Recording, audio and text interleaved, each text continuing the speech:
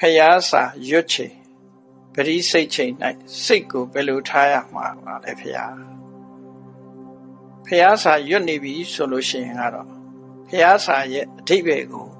သိရှိပြီးတော့အဓိပ္ပာယ်ကိုနားလည်ပြီးတော့ရွတ်မယ်ဆိုရင်ပို့ပြီးတော့တန်ဖိုးရှိတယ်အဲ့ဒါလို့မသိဘူးဖျားစာအနေနဲ့ပူဇော်တဲ့အနေနဲ့ရွတ်တယ်ဆိုရင်လည်းအကျိုးမရှိဘူးတော့မဟုတ်ဘူးအကျိုးရှိတယ်